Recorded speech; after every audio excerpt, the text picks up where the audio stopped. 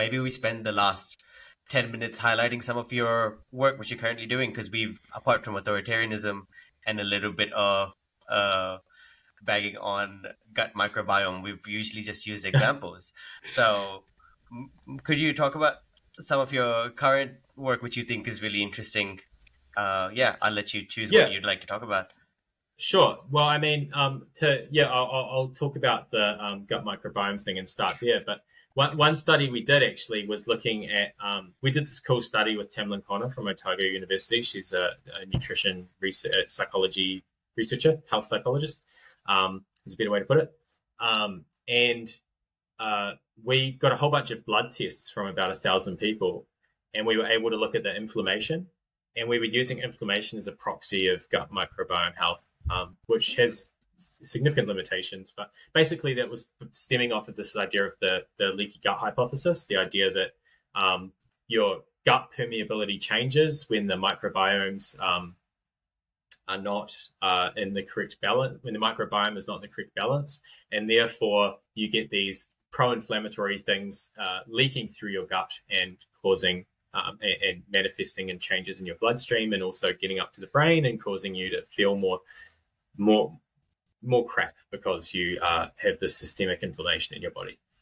Um, the thing we found in that research, we, we did find that there was an association that people with higher levels of inflammation did feel a bit more stink. But what we found crazy, crazy, crazy was people, uh, women that were taking the oral contraceptive pill had 10 times the amount of inflammation as anything diet related. Oh People could have the worst diet and it would not impact on their. Um, sorry, my grandma's just coming in to get her magazine. Um, it would not have the same impact uh, on your um, uh, gut microbiome and inflammation as taking the oral contraceptive pill, which was that, wild. That's insane. Yeah, and um, depending on what type of pill it was, the brand, there was actually differences between the brand and how much inflammation it caused as well. Um, and that was one of the things that that sort of put me off doing gut microbiome research is because I was like, well, there's of all the different things that could be affecting your mental well-being, gut microbiome is pretty far down the list in terms of how readily we can um, pose an intervention on it. And certainly things like increasing or having a cleaner diet would make you feel better. Um, and often um, uh, it does make you feel better. And that's more of a nutritional argument, more so than the actual microbiome argument. But I just thought, okay, well, if you sleep better, if you um, exercise, then that is going to increase your well-being thousandfold more so than anything microbiome related. So, so do I really want to continue down this line of research when there could be, when it's such a small effect and that there could be other avenues to explore that could be more um, productive or manifest greater, a greater sense of well-being, um, both in me and in participants. yeah. um, so that was the microbiome thing, uh, the, the microbiome research that I'd done there. And that's what pushed me towards um, when I went down the route of authoritarianism. And we talked about some of the studies that I did there, where we did longitudinal studies looking at changes in authoritarianism. We did some experimental stuff there. And it was when I actually completed my PhD, um, I realized that um, one of the examiners actually was like, well, couldn't you just explain this with social identity theory? And then I was like, damn, my entire thesis is a lie. and I could explain this entire process with social identity theory.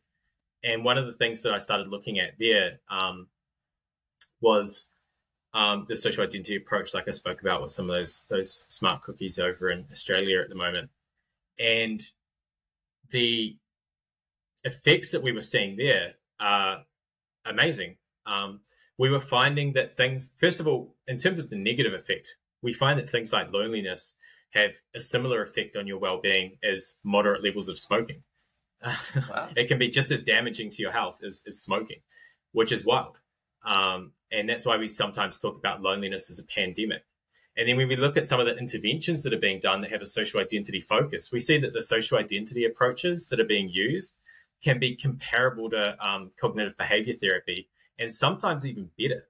So some of the research that we see there shows that um, when people um, experience a social identity approach or groups for health versus cognitive behavior therapy, at six month follow up, the level of loneliness in the people that had the social identity based approach would be lower than those that just experienced cognitive behavior therapy. Um, so when I, when I was reading some of that research, I was like, this is this is interesting. This is really cool stuff, and that's something that motivated me to research into that area more, just because I see so much potential. I know you're not a clinical person or that at all, but I just wanted to ask because it was very interesting. What would a social identity approach look like compared to a cognitive therapy approach?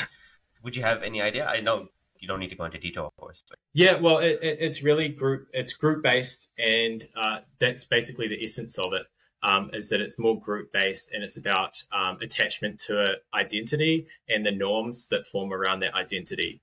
Um, so the the typical behaviors and, and beliefs and values uh, and enhancing those within the group. Um, and that connection that arises from that um, is is therapeutically relevant. So if you're looking at some of the research that we will be doing, um, I have a, a, PhD student at the moment, Courtney Matthews, and she is um, looking at something that looks very similar to these groups for health interventions, which is Dungeons and Dragons, where you get a group of people that come together um, talking about the same thing and sharing norms and values and beliefs um, and and manifesting that sense of social connection that can be quite therapeutic and help bolster and maintain a high sense of mental well-being. Um, so that's some of the research that I'm quite interested in looking at um, that we have starting up uh, pretty much next month is when we actually start collection. Um, uh, that, that, must be some fun stuff as well. That, wow. that must be some fun yeah. experiments to run. Yeah, no, it's it's it's very resource intensive, but we're we're really looking forward really looking forward to gathering that data and uh, have you got like a it. set of adventures you're gonna uh, use as your uh, the defined environment for? Well, it, funny you say that is because um, sorry, I'm swinging around on my chair, um, but um, is because I, I, I whakapapa Maori, and um, one of the, I've I've been really fortunate in, in later life that I've been exposed to a lot of people that have really strong cultural knowledge. Um, some people from from the northern iwi, such as uh, Fox, who you had on here, and yep. Finn. Um, yep. he's been on here as well. Yep, and um, but then also I've had the opportunity to work with a lot of people in my own iwi Ngāi down here, um, and learn from them. But that's not an opportunity that a lot of people um, are, are afforded. So one of the things that had been on my mind is how can we group the, these social identity approaches with this undercurrent of cultural reconnection in a way that's not really confrontational um, that has that's has a sort of low barrier to entry right?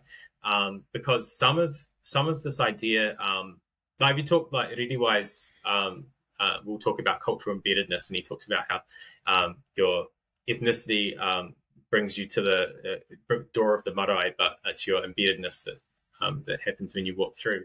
Sometimes that can be quite um, difficult for people to take that step through. Um, they don't feel that they have the knowledge that they need, um, which is um, not that you don't need that knowledge, um, but of course, there's this expectation or the stigma on individuals that they need to have a certain level of Maori knowledge to engage within um, within their community or with their iwi.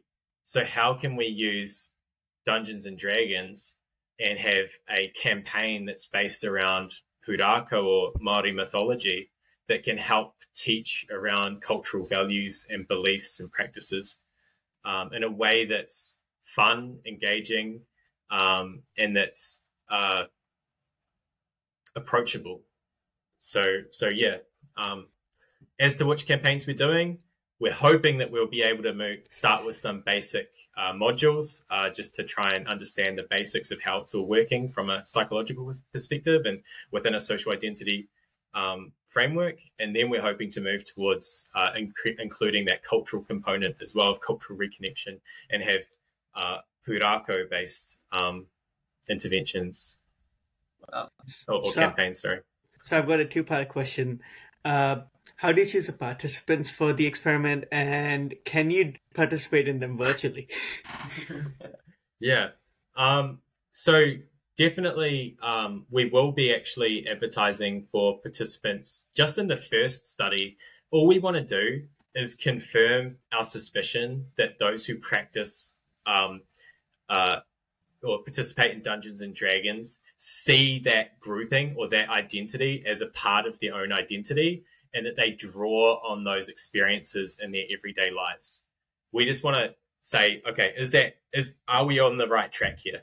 Um, study two is going to be the longitudinal part, um, and that's where we're going to say, uh, let's take people who have never played Dungeons and Dragons and follow them over time and watch the manifestation of that identity.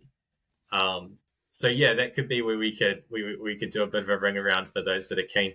Um, oh, so that sounds exciting. Uh, the hardest part is just getting DMs and making sure that we compensate everyone. Um, oh, I I know the perfect. Per- uh-